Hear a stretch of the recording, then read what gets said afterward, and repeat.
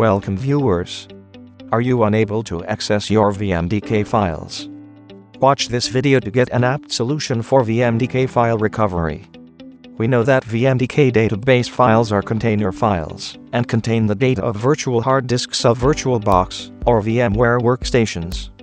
Even these database files are prone to frequent corruption due to abrupt system shutdown, abnormal closing of virtual machine while in use, virus infections, malware, or other bugs.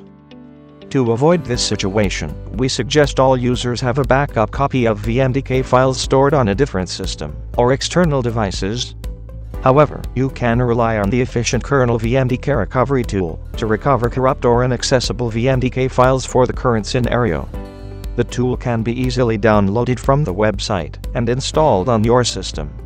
It recovers all types of VMDK files from all virtual machines, with the extraction of complete items, including the permanently deleted items.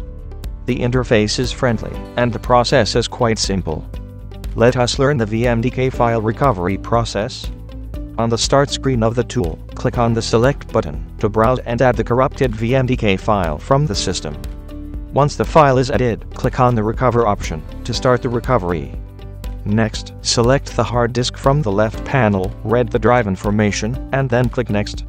Select the partition type and click OK.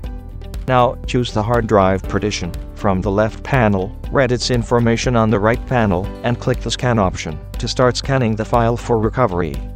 Once the file is recovered, all its content will be retrieved and will be available for preview.